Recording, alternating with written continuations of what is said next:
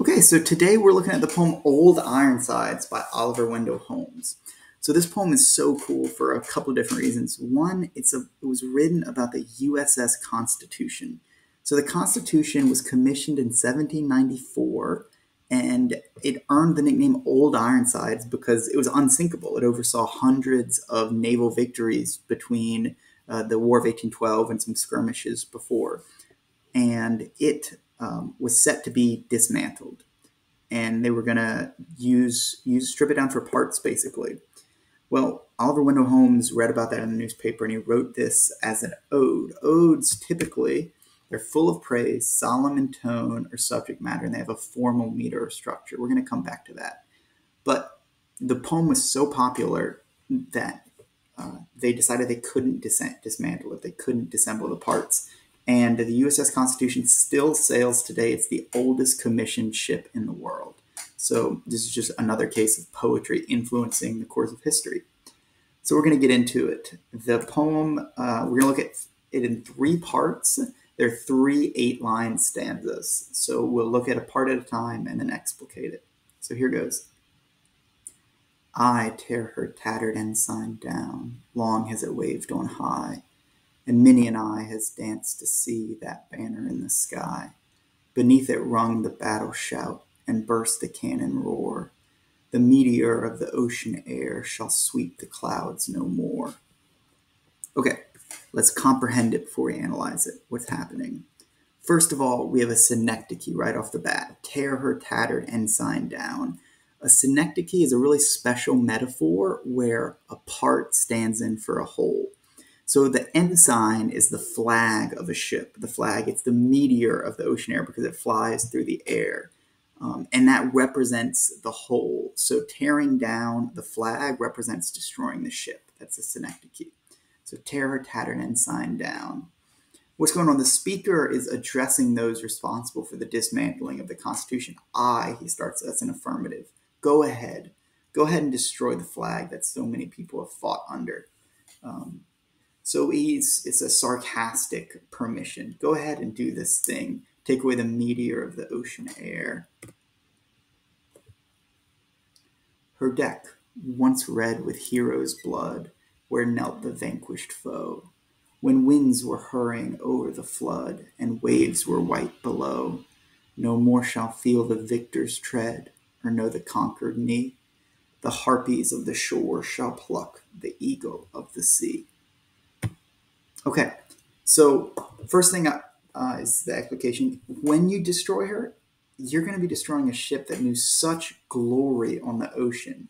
Um, it had the victor's tread over the conquered knee, and it was red with hero's blood. So it was this glorious oceanic vessel that we're going to be destroying. But one key uh, device that the poet is using here is contrast. So we're contrasting heroes and the vanquished, winds and waves, um, the victor and the conquered. But finally, the most important contrast the harpies of the shore versus the eagle of the sea. Now we know the eagle of the sea is the is the USS Constitution. Um, now that leaves the question: Who are the harpies of the shore? Interestingly enough, here um, the harpies are an allusion to this myth- mythological creature in Greece. Uh, they were this disgusting sort of um, half bird, half human uh, hybrid that were the hunters of hell. So they brought people who had escaped from Hades back to Hades. They were vicious, they were disgusting, they were evil. Um, so think of all of the connotations we have for an eagle good, proud, majestic, represents America. And now we're contrasting that with the harpies who would pluck this eagle from, from the sea. So, who are the harpies of the shore? It's an interesting question. Oh, better that her shattered hulk should sink beneath the wave. Her thunders shook the mighty deep, and there should be her grave. Nail to the mast her holy flag, set every threadbare sail, and give her to the god of storms, the lightning and the gale.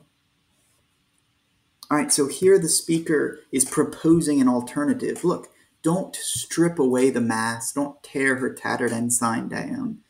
Rather, nail her mast up, or nail her holy flag to the mast, and give her to the sea.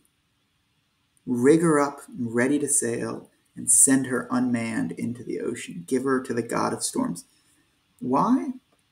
Well, because the ship had its glory on the ocean. Her thunders shook the mighty deep, so there should be her grave.